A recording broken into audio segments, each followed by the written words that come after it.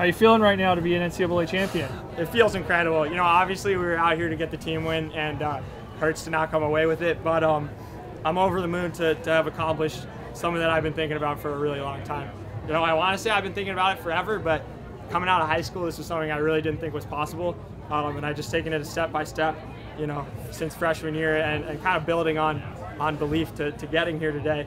Uh, I know we came through the 3K in like my freshman year 3K PR on, on the track. So um, yeah, it's just really, it feels amazing seeing stuff like that just along the way to the national championship uh, to really feel the progression that I've made over these past four years.